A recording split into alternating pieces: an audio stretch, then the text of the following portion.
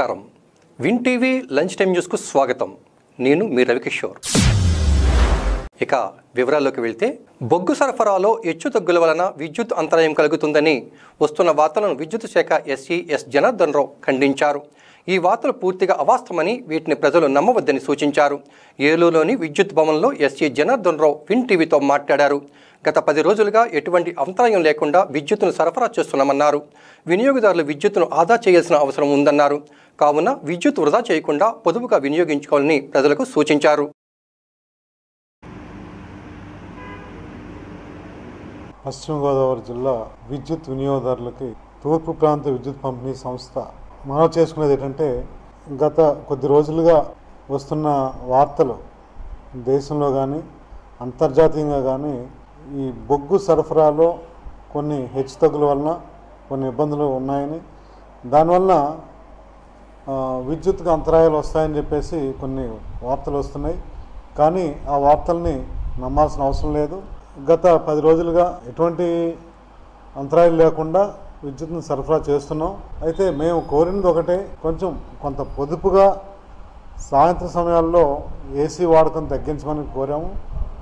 అలాగే సాయంత్రం ఆరు నుంచి రాత్రి పది వరకు పీక్ లోడ్ టైంలో అనవసరమైన విద్యుత్ వాడకాన్ని కొంచెం తగ్గించమని మాత్రమే కోరాం. మన రాష్ట్ర గౌరవ ముఖ్యమంత్రి వర్యులు అలాగే మా అధికారులు అటు కేంద్ర ప్రభుత్వంతోనూ కోల్ మైన్స్ వాళ్ళతోనూ కూడా మాట్లాడి మనకి కోల్ సరఫరాని మనకు సరిపడా వచ్చే విధంగా ప్రయత్నాలు చేస్తున్నారు. మనకి బొగ్గు సరిపడినంత అందుతోంది కాబట్టి ప్రస్తుతానికి మనకి ఎటువంటి అవంతరాలు లేకుండా విద్యుత్ మనకి అందిస్తున్నాం. ఇది ఇలాగే కంటిన్యూ అవుతుంది. దీని గురించి ఎటువంటి అపోహలు కానీ అనుమానాలు కానీ అవసరం లేదు. ఎందుకంటే పగటిపూట తొమ్మిది గంటలు నిరంతరాయంగా విద్యుత్ త్రీ ఫేజ్ విద్యుత్ సరఫరా చేస్తున్నాం. అలాగే యాక్వా రైతులకు కూడా విద్యుత్ని అందిస్తున్నాం. అవసరమైతే సాయంత్రం సమయాల్లో కొంచెం తగ్గించమని మాత్రమే చెప్తున్నాం. ఇక ఇండస్ట్రీస్ కొంతమంది మేజర్ ఇండస్ట్రీస్ వాళ్ళు మాత్రం సహకరించమని కోరాం. అది కూడా ఇప్పుడు అది అన్ని రోజులు కాదు ఎప్పుడన్నా గ్రిడ్లో డిస్టర్బెన్స్ వచ్చినట్టు అనిపిస్తే అప్పుడు సహకరించమన్నాం. ఇప్పుడైతే ఎటువంటి అవంతరాలు లేకుండా అందరికీ అన్ని సెక్టార్ల కేటగిరీల కన్జ్యూమర్లకి మేము విద్యుత్ని అంతరాయం లేకుండా అందిస్తున్నాం. కాబట్టి ఈ అపోహలను ఇవన్నింటిని కూడా నమ్మాల్సిన పని లేదు. అయితే విద్యుత్ వినియోగదారులందరూ సహకరించి ఈ సీజన్ని మనం అంతరాయం లేకుండా విద్యుత్ని పొందడానికి సహకరించవలసింది కోరుతున్నాం.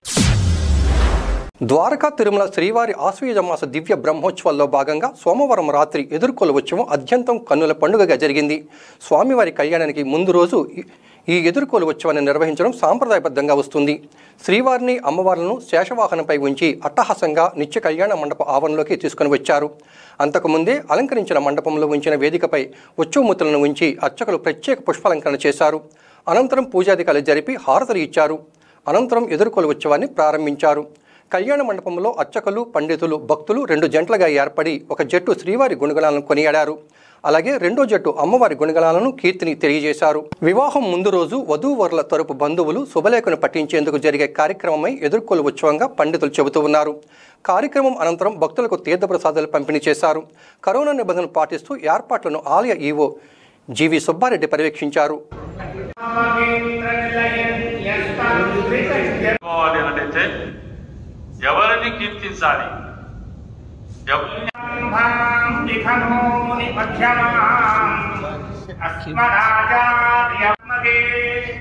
విశుద్ధ విజ్ఞాన ఘనస్వరూపం విశేషణాలు వారందరికీ కూడా ఈ స్వామివారి ప్రజాదారిని ముఖే ముఖే కలుసుకునేటట్టుగా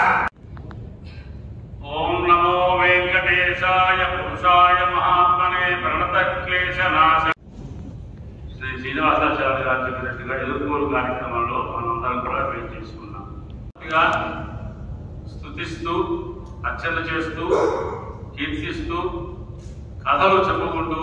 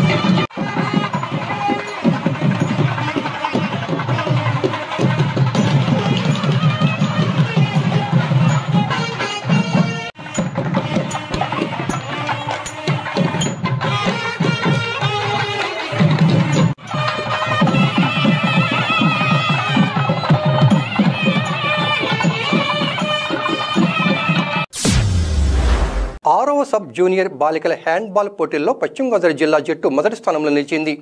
ఏడవ జూనియర్ బాలర్ హ్యాండ్బాల్ పోటీలలో తృతీయ స్థానంలో నిలిచింది. ఏలూరు సురేష్ చంద్ర బహుగుండ్ పోలీస్ స్కూల్లో నిర్వహిస్తున్న హ్యాండ్బాల్ పోటీలు ముగిశాయి. పోటీలలో గెలుపొందిన టీంలకు బహుమతులను అందించి అభినందనలు తెలిపారు. ఈ సందర్భంగా పశ్చిమ గోదావరి జిల్లాను మొదటి స్థానంలో నిలిచిన ఆరో సబ్ జూనియర్ బాలికల టీం సభ్యులు ఏలూరు డీఎస్పీ డాక్టర్ దిలీప్ కిరణ్ మర్యాదపూర్వకంగా కలిశారు. ఈ సందర్భంగా టీం సభ్యులను డీఎస్పీ అభినందించారు. ఈ కార్యక్రమంలో లక్ష్మీనారాయణ ఉదయ్ ఆదిత్య గోవింద్ రామ్ కుమార్ ప్రతాప్ ప్రదీప్ తదితరులు పాల్గొన్నారు. గోదావరి జిల్లా ఏలూరు సబ్ డివిజన్ పరిధిలో సురేష్ చంద్ర భవన స్కూల్లో రాష్ట్ర స్థాయి బాలబాలికల హ్యాండ్బాల్ ఛాంపియన్షిప్లో మూడు రోజులు జరిగినటువంటి ఛాంపియన్షిప్లో వెస్ట్ గోదావరి డిస్టిక్కి సబ్ జూనియర్ బాలికల కేటగిరీలో gold medal సాధించుకు SDPO sub division police office తరఫు నుంచి కూడా వారికి ప్రత్యేకమైనటువంటి కంగ్రాచులేషన్స్ తెలియజేస్తూ టీంకి మంచిగా ఆడి గోల్డ్ మెడల్ సాధించిన టీం మెంబర్స్ అందరికీ కూడా ప్రత్యేకమైనటువంటి కంగ్రాట్స్ చెప్తూ ఇక మీద కూడా ఇదే స్ఫూర్తితో మరిన్ని పథకాలు సాధించాల్సిందిగా ప్రత్యేకంగా ఏలూరు పోలీస్ తరఫు నుంచి వారికి అభినందనలు తెలియజేసుకుంటాం. కాంపిటేటివ్ వరల్డ్లో పిల్లలు చదువుల మీదే కాకుండా స్పోర్ట్స్ మీద కూడా కాన్సన్ట్రేషన్ చేసి వారి శరీర దృఢత్వాన్ని ఆరోగ్యాన్ని కూడా పెంపొందించుకునే విధంగా ఎందుకంటే ఇప్పుడు ఉన్నటువంటి కోవిడ్ పరిస్థితుల్లో స్మార్ట్ ఫోన్స్ జూమ్ మీటింగ్లు లేకపోతే ఎడ్యుకేషన్ కూడా ఈ కెమెరా ద్వారానే అవుతున్నాయి కాబట్టి ఫిజికల్ ఫిట్నెస్ అనేది ఖచ్చితంగా ఇమ్యూన్ బూస్టింగ్ సంబంధించి ఉంటుంది కాబట్టి స్పోర్ట్స్ అనేది కాన్సన్ట్రేట్ చేసి బాలబాలికలందరూ కూడా వీటిపైన కూడా శ్రద్ధ వహించి ఫిజికల్ ఫిట్నెస్కి కాన్సన్ట్రేషన్ కూడా చేయాలని చెప్పి కోరుకుంటున్నాను గత మూడు రోజుల నుంచి ఏలూరు నగరంలో సురేష్ చంద్ర పోలీస్ బహుగుణ స్కూల్లో మనకి ఆరవ సబ్ జూనియర్ ఏడవ జూనియర్ బాలుర హ్యాండ్బాల్ అంతర్జిల్లాల టోర్నమెంటు అత్యంత ఘనంగా చాలా చక్కగా జరిగింది. మరి ఇందులో సబ్ జూనియర్ బాలికల్లో పశ్చిమ గోదావరి జిల్లా ప్రథమ స్థానం చిత్తూరు జిల్లా ద్వితీయ స్థానం రావడం జరిగింది. అలాగే బాలుర సెక్షన్కి వచ్చేటప్పటికి పశ్చిమ గోదావరి జిల్లా థర్డ్ ప్లేస్ రావడం జరిగింది. ప్రకాశం జిల్లా first place east Godavari second place రావడం జరిగింది. ఈ టోర్నమెంట్ మేము ఆతిథ్యం ఇచ్చినందుకు ఏపీ స్టేట్ హ్యాండ్బాల్ అసోసియేషన్ వారికి ధన్యవాదాలు తెలియజేస్తున్నాము.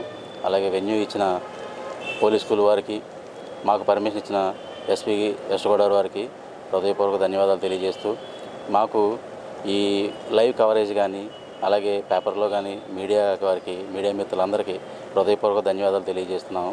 అలాగే శానిటేషన్ విషయంలో కానీ నగరపాలక సంస్థ వారు చాలా చక్కగా మాకు కోఆపరేట్ చేశారు. వారు కూడా హృదయపూర్వక ధన్యవాదాలు. ఏలూరు నగరంలోని అధికారులు కానీ అలాగే దాతలు కూడా సాయం మాకు చాలా చక్కగా సాయం చేయడంలో మేము ఈ టోర్నమెంట్ని రెండు కేటగిరీల టోర్నమెంట్ని దిగ్విజయంగా పూర్తి చేశామని చెప్పేసి అనుకుంటున్నాము. సమాజంలో సేవా కార్యక్రమాలు చేసేందుకు ప్రముఖులు ముందుకు రావాలని Eluru smart city corporation chairperson Boddani Akhila Satish Chandra పిలుపునిచ్చారు. ఏలూరు వైఎస్ఆర్ కాలనీకి చెందిన పత్తి కేదారేశ్వరరావు పత్తి రమాదేవి అనే ఇద్దరు దివ్యాంగులకు మంగళవారం అఖిల సతీష్ చేతుల మీదుగా రైస్ బ్యాగులను అందించారు. పేదల సంక్షేమం కోసం రాష్ట్ర ప్రభుత్వం ఎన్నో పథకాలను ప్రవేశపెట్టి సక్రమంగా అమలు చేస్తుందని అఖిల సతీష్ చంద్ర తెలిపారు. అయినప్పటికీ పేదలకు సహకారం అందించేందుకు ప్రముఖులు ముందుకు రావాలని పిలుపునిచ్చారు.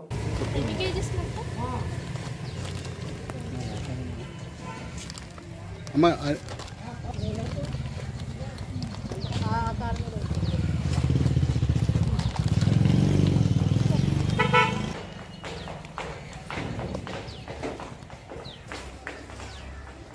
జగన్మోహన్ రెడ్డి గారు ఎంత సహాయం చేస్తున్నారు? వాళ్ళకి కావాల్సిన విధంగా పథకాల్లో వాళ్ళకు కూడా పెన్షన్స్ ద్వారా వాళ్ళని కూడా ఆదుకుంటున్నారు. అలాగే మన డిప్యూటీ సీఎం ఆల్నాని గారు కూడా ఎంతగానో ఆదుకుంటున్నారు వాళ్ళు. వాళ్ళు పని చేసుకోలేక ఎక్కడికి ఫ్రీగా వెళ్ళలేక ఉన్నప్పుడు ఎన్నో విధాలుగా వాళ్ళని ఆర్థికంగా ఎంతగానో సహాయం చేసినది తేడా లేకుండా వాళ్ళ అవసరాలు చిన్నది అయినా కూడా వాళ్ళకి సహాయం చేయాలని ఈ సందర్భంగా తెలియజేస్తున్నాము. మేము ఈరోజు ఇలాగా ఈ- ఈయనకి ఒక ట్వంటీ కేజీస్ రైస్ బ్యాగ్ ఇవ్వడం జరిగింది. మీరు కూడా ఎవరైతే మీ దగ్గరలో కానీ ఎవరైనా తెలిసిన వాళ్ళు కానీ దివ్యాంగులు ఎవరైనా ఉన్నప్పటికీ ఉన్నట్లయితే కనుక వాళ్ళందరికీ కూడా ఆర్థికంగా కానీ లేకపోతే కనుక వాళ్ళకి ఫుడ్ విషయంలోనే కానీ లేకపోతే వర్క్ విషయంలోనే కానీ మీరందరూ కూడా సహాయం చేయడానికి ముందుకు రావాలని ఏలూరు పట్టణ ప్రజలందరికీ కూడా పిలుపునివ్వడం జరుగుతుంది. మనం మన ఎదుటి వాళ్ళకి సహాయం చేయడమే మనకి మన బిడ్డలకి ఎంతగానో బ్లెస్సింగ్స్ కింద ఉంటాయి. అది అందరూ జ్ఞాపకం చేసుకొని ప్రతి ఒక్కరు కూడా సహాయం చేయడానికి ముందుకు రావాల్సిందిగా వీళ్ళందరినీ ఆదరించవలసిందిగా వాళ్ళ వాళ్ళ యొక్క జాలి వాళ్ళని ఒక- వాళ్ళ మీద జాలి పడుతూ వాళ్ళ కోసము పనిచేసే విధంగా మనం వాళ్ళకి ప్రోత్సాహం ఇచ్చేటువంటి విధంగా ముందుకు రావాలని ఏలూరు పట్టణ ప్రజలందరినీ కోరుకుంటున్నాం. మన సార్ ఏలూరు స్మార్ట్ సిటీగా చేస్తున్న అఖిలమ్మ గారికి ఎంతో వందనండి మాకు ఫస్ట్ నుంచి కూడా పొద్దున్న శ్రీనివాసరావు గారు కూడా చాలా హెల్ప్ చేశారండి.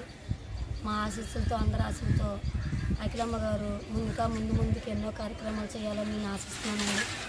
మాకు హెల్ప్ చేసినందుకు చాలా సంతోషం. ప్రభుత్వ ఆదేశాలను అనుసరిస్తూ ద్విచక్ర వాహనదారులు ఖచ్చితంగా హెల్మెట్ ధరించాలని లేని పక్షంలో చర్యలు తప్పవని ఏలూరు ట్రాఫిక్ ఎస్ఐ శ్రీనివాసరావు హెచ్చరించారు. ఏలూరు వంటంలోని అజంతా సెంటర్ వద్ద ఎస్ఐ శ్రీధర్తో కలిసి మంగళవారం శ్రీనివాసరావు వాహన తనిఖీలు నిర్వహించారు. వాహనదారుల యొక్క ధృవీకరణ పత్రాలను పరిశీలించి నిబంధనలు పాటించిన వారికి కౌన్సిలింగ్ ఇవ్వడంతో పాటుగా అపరాధ రుసుం విధించారు. అదేవిధంగా హెల్మెట్పై అవగాహన కల్పించారు. ఈ సందర్భంగా ఎస్ఐ శ్రీనివాసరావు మీడియాతో మాట్లాడారు. ఈ కార్యక్రమంలో ఏఎస్ఐ పూర్ణచంద్రతో పాటుగా సిబ్బంది పాల్గొన్నారు.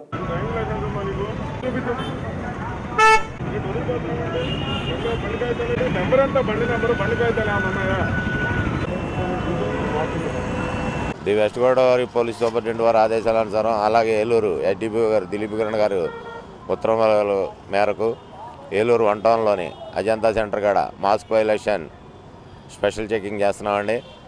కోవిడ్ చాలా ఉధృతంగా ఉంది. చాలామంది తగ్గిపోయిందని మళ్ళీ అశ్రద్ధ వహించి చాలామంది ఫిఫ్టీ పర్సెంట్ వరకు ఎవరు కూడా మాస్క్ పెట్టుకోవట్లే పెట్టుకోకుండా ప్రయాణిస్తున్నారు. కాబట్టి ప్రతి ఒక్కళ్ళు కూడా నడిచి వెళ్ళినా సైకిల్ మీద వెళ్ళినా మోటార్ సైకిల్ మీద వెళ్ళినా కారులో వెళ్ళినా ఆటోలో వెళ్ళినా కంపల్సరీ మాస్క్ పెట్టుకోవాల్సిందిగా కోరుకుంటున్నాం. అలాంటి మాస్క్ పెట్టుకోకుండా ప్రయాణించే వాళ్ళు ఎవరినైనా సరే జరిమానా విధించబడుతుంది. కాబట్టి ప్రతి ఒక్కరు కూడా తప్పనిసరిగా మీ రక్ష మీ కుటుంబ రక్షణ గురించి కంపల్సరీ మాస్క్ ధరించాలి.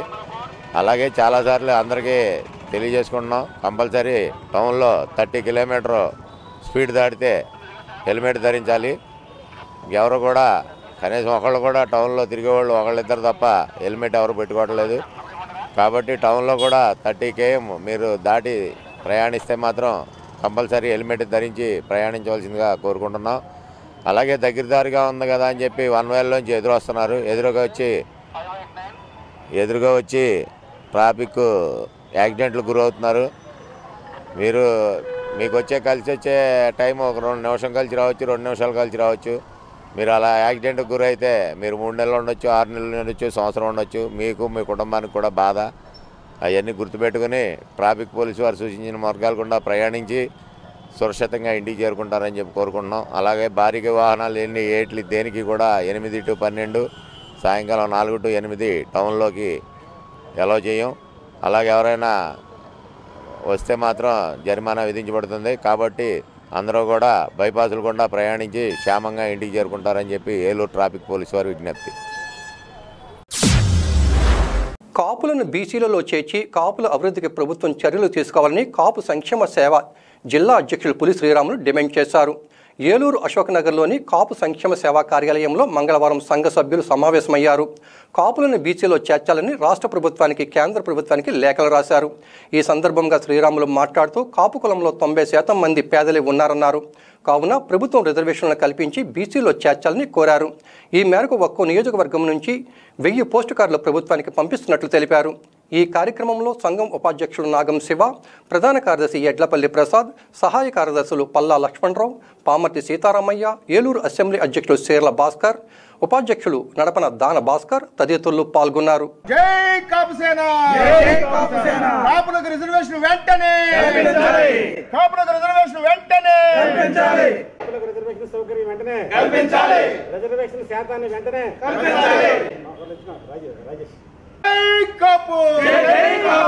వద్దలాలి హర్రామజోగి గారి నాయకత్వం. కల్పించాలి వెంటనే కాపులకు రిజర్వేషన్స్ కల్పించాలి! ఇప్పుడు కాపు తెలగ బలిజ వంటరి కులాలకు మేము కొత్తగా రిజర్వేషన్ సౌకర్యం మేము కోరట్లేదండి. పంతొమ్మిది వందల పదిహేనవ సంవత్సరంలోనే బ్రిటిష్ వారి పాలనలోనే కాపులకు రిజర్వేషన్ సౌకర్యం కల్పించారు. కాపు తెలగ వంటరి కులాలకు బలిజ కులాలకు పంతొమ్మిది వందల పదిహేను నుంచి స్వాతంత్రం వచ్చే వరకు కూడా రిజర్వేషన్ సౌకర్యం మాకు కొనసాగింది. అయితే ఇటీవల కేంద్ర ప్రభుత్వం యాభై శాతం రిజర్వేషన్లకు అను అనుగుణంగా వారికి మళ్ళీ ప్రత్యేకంగా పది శాతం రిజర్వేషన్లని ఈబీసీలకు కల్పించారు. నిజంగా ఈ బా ఈ రాష్ట్రంలో ఇరవై ఏడు శాతం మంది ఉన్నవారు ఎవరైతే ఉన్నారో కాపు తెలగ బలిజ వంటి కులాలకి ఖచ్చితంగా రిజర్వేషన్ సౌకర్యం కల్పించాలని చెప్పి మేము కోరుతా ఉన్నాం. కడు హీన భేద పరిస్థితుల్లో ఉన్నారు ఈ వర్ణాల వారు. కార్మికులుగా తాపి పని కార్మికులుగా వ్యవసాయ కూలీలుగా చాలా ఎక్కడో నూటికి ఒకళ్ళో ఇద్దరో కొద్దో గొప్ప ఆర్థికమైనటువంటి మధ్యతరగతి కుటుంబీకులుగా ఉన్నతమైనటువంటి కుటుంబీకులుగా నూటికో పది మంది ఉంటారు తప్ప నూటికి తొంభై శాతం మందిగా మాత్రం కాపు తెలగ బలిజే వంటి కులాల వారు చాలా హీన దీన పరిస్థితిలో ఉన్నారు కనుక మాకు రాజ్యాంగపరమైనటువంటి రక్షణ కావాలి. ఏదైతే డాక్టర్ బిఆర్ అంబేద్కర్ గారు మాకు ఇచ్చారో ఆ రాజ్యాంగపరమైనటువంటి రక్షణని ఈ రాష్ట్ర ప్రభుత్వం మాకు కల్పించాలని చెప్పి మేము కోరుతా ఉన్నాం. ధాన్యం మద్దతు ధర క్వింటాలకు మూడు వేల రూపాయలు ఇవ్వాలని మెట్ట ప్రాంతంలో ధాన్యం కొనుగోలు కేంద్రాలను వెంటనే తెరవాలని ఆంధ్రప్రదేశ్ రైతు సంఘం జిల్లా కార్యదర్శి కె. శ్రీనివాస్ డిమాండ్ చేశారు. ఏలూరు పవర్పేటలో అన్నే వెంకటేశ్వరరావు భవనంలో ధాన్యం మద్దతు ధర కొనుగోలు సమస్యలు అనే అంశంపై మంగళవారం నిర్వహించిన సమావేశంలో శ్రీనివాస్ మాట్లాడారు. గత రబీలో ధాన్యం కొనుగోలులో రైతులు అనేక ఇబ్బందులు పడ్డారన్నారు. కావున ప్రస్తుత ఖరీఫ్లో ధాన్యం కొనుగోలులో సమస్యలు తలెత్తకుండా పటిష్టమైన చర్యలు చేపట్టాలని కోరారు. అదేవిధంగా మద్దతు ధర ఇచ్చి వరి రైతులను ఆదుకోవాలని డిమాండ్ చేశారు. ఈ సమావేశంలో బి లక్ష్మణరావు ఎం దుర్గారావు తదితరులు పాల్గొన్నారు. జిల్లాలో ఖరీఫ్లో దాదాపు ఆరు లక్షల ఎకరాల్లో రైతులు వరి పంటను సాగు చేశారు. మెట్ట ప్రాంత మండలాల్లో వరి కోతలు ప్రారంభమైనవి అయితే ఇవాళ రాష్ట్ర ప్రభుత్వం వెంటనే ధాన్యం కొనుగోలు కేంద్రాలని ప్రారంభించి రైతుల దగ్గర నుంచి ధాన్యం కొనుగోలు చేయాలని చెప్పేసి మేము రైతు సంఘం తరఫున విజ్ఞప్తి చేస్తా ఉన్నాం. ఎందుకంటే గత రబీ సీజన్లో ధాన్యం కొనుగోళ్ళలో అనేక సమస్యలు వచ్చినాయి. పంట అమ్ముకునేటప్పుడు కూడా రైతులు ఇబ్బంది పడ్డారు. పంట అమ్మిన తర్వాత నెలల తరబడి ధాన్యం బకాయి సొమ్ములు ఇవ్వకపోవడం వల్ల వడ్డీలు పెరిగిపోయి రైతులు తీవ్రంగా నష్టపోయారు.